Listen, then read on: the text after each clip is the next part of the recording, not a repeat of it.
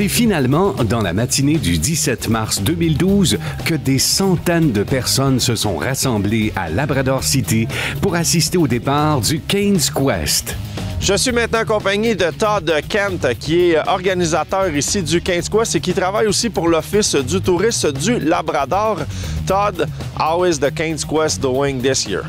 Well, uh, it's proving to be what we thought it was going to be, Ken. Uh, we knew it was going to be one of the hardest ones yet, and it's already proving to be that. Uh, halfway through the race, uh, we were down to almost half our team. So, uh, and every year uh, since we started in 2006, only 50%, around 50%, uh, would finishes the race. This year is probably going to be a little less than 50. The race, the course was longer and tougher in some places.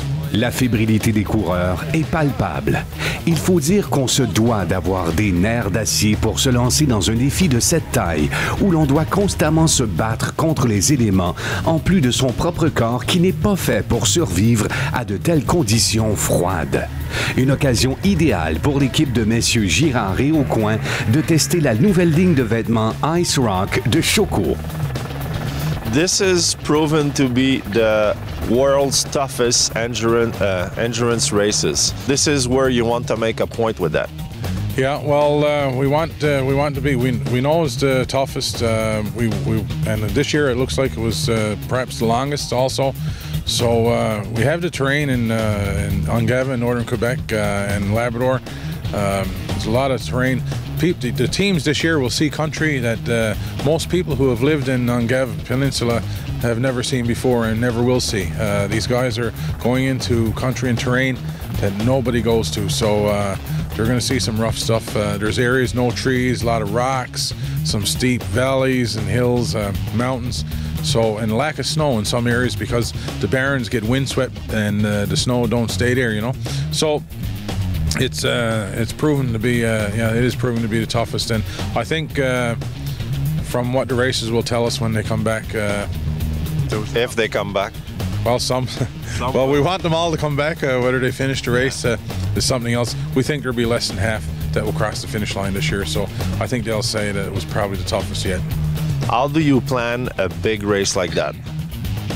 Ken, uh, it's a year. It's a year-long uh, process. Uh, by the time, by the time we pay the bills for this one uh, this spring, we'll be already started and uh, you know to organize the next race.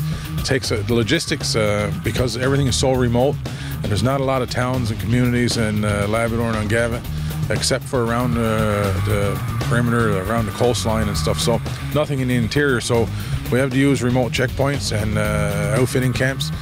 And uh, just to get the supplies and people in there, we have to use aircraft on skis, helicopters, and uh, those sorts of things. So, uh, and then to raise the money, it's a it's a it's about a six hundred thousand dollar event to pull off every year. So we have to raise that money each year, and uh, it's quite a task. It's just it ha- what it's become is a year round uh, process now. Uh, it's just not just a few months and you put it together. It's year round. There's one thing to be said about this is that okay, we you have a trail system in Labrador, but this is an off-trail uh, races. They're not allowed to ride on anything that is supposed to be a trail. No, the only place every it's all off trail except for uh, maybe a few small sections where we have to get to have to we have to let give them access to the town uh, in and out of some of the communities. But other than that, uh, no, it's uh, totally off trail, rugged. Uh, yeah, they, they go through a lot of other conditions, and Groom Trail is not one of them. So uh, uh, I think uh, you know, and what better place than uh, Labrador and Ungava? I mean, there's no better place in the world to pull something like this off. Uh, and you know what? Despite even how hard, even if it, it is, it's so hard, and the races will tell you it's hard, but that's what they look for. Yeah, that's what they want. They enjoy it. They sign up for that. to be easy. No, it's not a Sunday ride. Uh, they sign up for it. They know it's going to be tough. They know only half will finish, but uh, just to, to accomplish, to, just to finish it seems to be the goal of most. There are some who want to win. There's no question about it. Uh, but for the most, I think uh, they'll tell you they, they just want to finish. How many kilometer is about in the race for this year? I think uh, we don't know exactly. It's uh, somewhere between 25 and 3,000, uh, maybe around 2,800. But uh, I think uh, when we, when they come back here, uh, odometers will tell us, the races will tell us exactly how, how many kilometers they put on. But it, it will be close to 3,000, we think.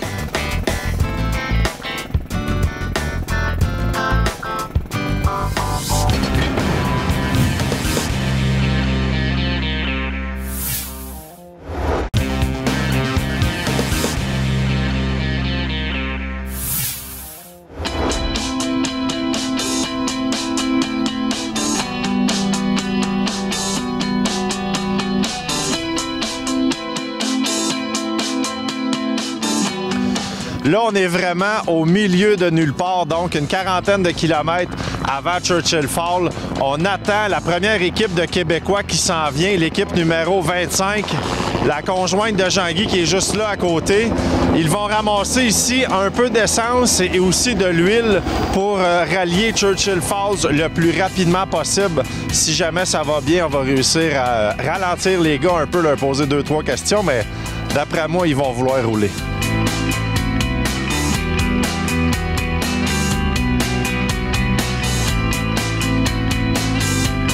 Les règlements sont très stricts quant aux réparations que les coureurs ont le droit d'effectuer sur leur machine. Ceux-ci profitent des points de vérification pour faire le ravitaillement en huile et en essence. Tout doit être calculé minutieusement afin de ne pas se retrouver en surcharge de poids inutile qui ralentirait la cadence des pilotes. Là, vous êtes troisième, là, ça va quand même bien. On est parti 30e. Bon, je suis correct. Faut prendre la tête vers les choses un peu. Là. On s'entend qu'on a juste une journée de fête, même pas une journée de fête, il en reste euh, cinq. Là. Ouais, c'est ça, c'est long. Fait que donne rien de partir en fou. Bon, on roule bien, là, mais là, euh, on a arrêté souvent, on a tanké, là, puis on n'a pas. euh, on voulait arriver premier au premier checkpoint, là. On a passé de premier, à peu près ça. Ben. Vous êtes reparti premier parce que je vous ai manqué au checkpoint, mais vous êtes redécollé premier. Ouais, ouais, ouais, on avait deux minutes devant.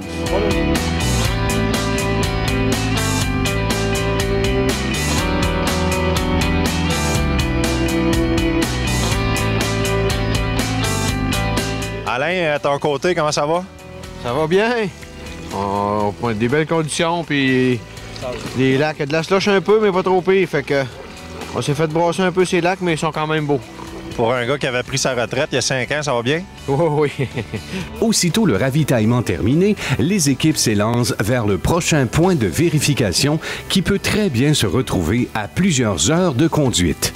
La fatigue se fait sentir, mais les pilotes tiennent bon et même à des températures si basses sous zéro, la compétition entre les équipes ne pourrait pas être plus chaude.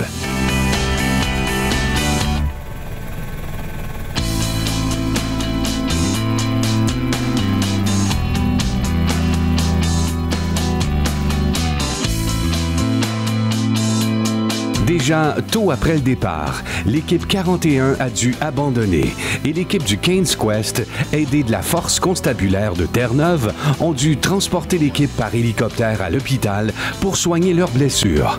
Heureusement, ils sont sains et saufs. Comme quoi le niveau de difficulté de cette course n'est pas à prendre à la légère. Plusieurs autres équipes ont dû abandonner également pour différentes raisons, les problèmes mécaniques n'étant que l'une d'entre elles. Heureusement, tout ne se passe pas aussi dramatiquement. Puis, comment ça a été? Super bien, super belle raid, tout a super bien été.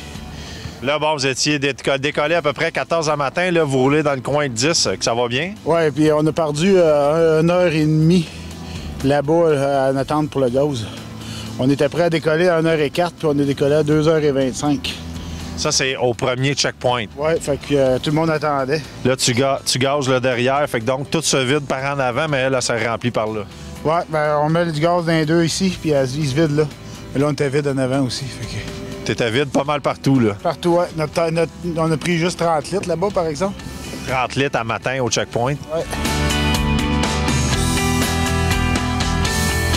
Pendant que l'équipe 19 reprend son chemin vers le prochain point de vérification, nous allons faire une petite pause et on se donne rendez-vous la semaine prochaine pour la suite du Keynes Quest édition 2012.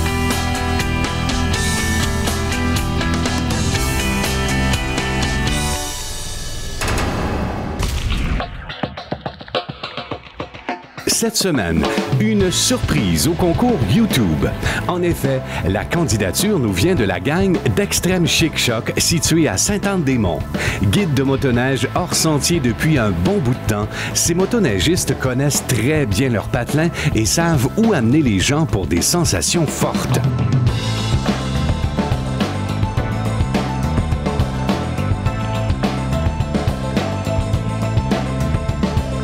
Leurs vidéos sont à couper le souffle. Et pour voir les versions intégrales de ces vidéos, visitez notre site web au rds.ca RQ.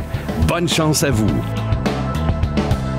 Le Rabasca Lodge vous offre la chance de gagner un des deux forfaits pour deux personnes pour deux nuits, incluant souper quatre services, coucher en chalet coquet et petit déjeuner copieux dans leur petit coin de paradis sur les rives du réservoir Bascaton.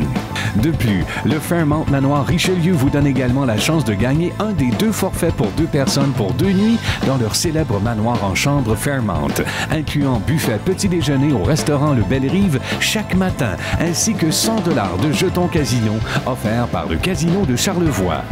Chaque forfait sera accompagné d'un ensemble de vêtements de motoneige, gracieuseté de Choco Design, afin de vous permettre de bien profiter de vos forfaits hivernaux sans avoir froid. Bonne chance à tous. Pour participer, visitez le rds.ca RQ et cliquez sur l'icône Concours YouTube pour les détails. N'oubliez pas également de participer au nouveau concours Prenez l'air avec la capitale qui offre 100 000 dollars de prix à gagner, dont l'un de ses quatre véhicules récréatifs. Visitez notre site web pour tous les détails. Cette émission vous a été présentée par Choco, fabricant des vêtements Ice Rock, par vos fabricants de motoneige, Skidoo et Yamaha, et par la Capitale Assurance Générale, l'assureur québécois des motoneigistes.